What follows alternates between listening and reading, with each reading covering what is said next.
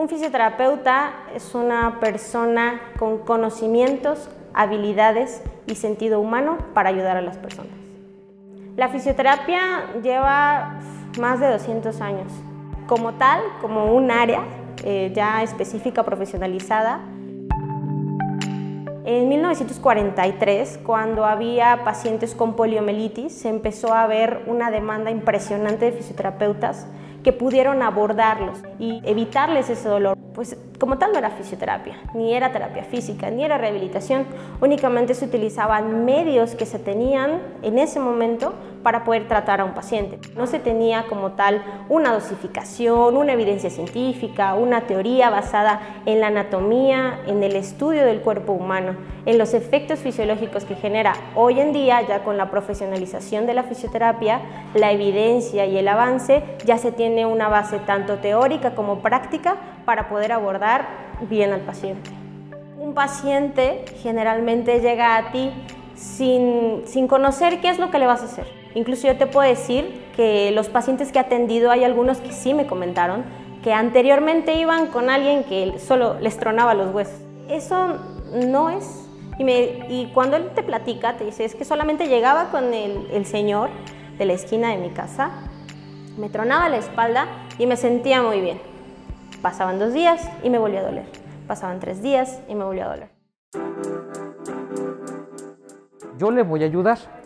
Yo voy a guiar el movimiento, pero usted me va a ir siguiendo en las primeras y después lo va a ir integrando usted solita, ¿de acuerdo? Todos los días, cada que me levanto y cuando me acuesto, siempre pienso en, los pacientes, en qué puedo hacer para mejorarlos. Al transformar la vida de las personas, se transforma la mía ya que el objetivo principal de la fisioterapia es lograr que las personas sean totalmente independientes.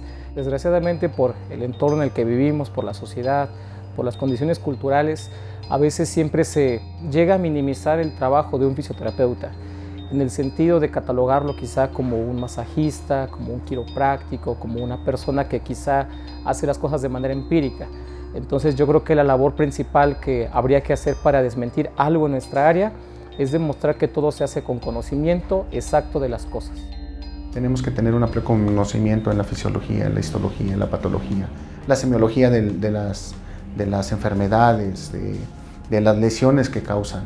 Eh, muchos de los médicos ya nos aceptan como parte de, la labor médica. Eh, en las instituciones ya hay lugares de rehabilitación ya con nombre, con renombre y con historia. En la medida preventiva y en la medicina preventiva, eh, un éxito. ¿Un éxito por qué? porque reducimos el tiempo de lesión y hacemos que el paciente mejore y sea más en su vida laboral competitivo. Esto eh, se debe de hacer por amor, por cariño, por, por amor a la, a la, profesión. Nosotros todos los días estamos en, en constante cambio con el tipo de lesiones. Eh, si bien hace años nos encontrábamos con lesiones eh, de otra índole. Hoy en día la utilización de los aparatos y los medios de comunicación como el teléfono, como la computadora, nos hacen que salgan nuevas patologías, nuevas lesiones. Eh, y para este tipo de, de, de, patologías obviamente debemos de estar estudiados, letrados, para poder entender y, y propiamente ayudar a los pacientes. Fíjate que hoy la gente se está haciendo más, más consciente de que la visita con un fisioterapeuta te puede ayudar a evitar lesiones. Por ejemplo, cuando nosotros vemos eh, deambular a alguien en la calle, eh, observamos si tiene una patología en las piernas, como varo o algo de rodilla, que comúnmente lo veía un, ortopedista, pero hoy en día eh, la, las acciones que hacemos físicamente y mecánicamente y con los aparatos de eh, medios físicos, que es precisamente lo que nosotros otorgamos al paciente, le podemos dar una mejoría. Nosotros podemos alicientar los músculos y reubicarlos de una manera práctica y, pues digámoslo así, no tan costosa. Yo creo que el campo es muy amplio, es difícil determinar con exactitud. Lo que sí puedo asegurarle es que en algunos años la fisioterapia geriátrica va a ser eh, el plus aquí en nuestro país pues actualmente gozamos de una población bastante joven, pero en algunos 40, 50 años toda nuestra población va a ser senil y entonces vamos a necesitar muchos fisioterapeutas para mejorar la calidad de vida de esa población. Los fisioterapeutas buscamos siempre ayudar a las personas. Una persona que quiere dedicarse a fisioterapia es aquella que está preocupada por el bienestar del resto de las personas. Porque el fisioterapeuta no solamente eh, ve al paciente un día y lo deja, sino el fisioterapeuta se lleva al paciente a su casa en su mente.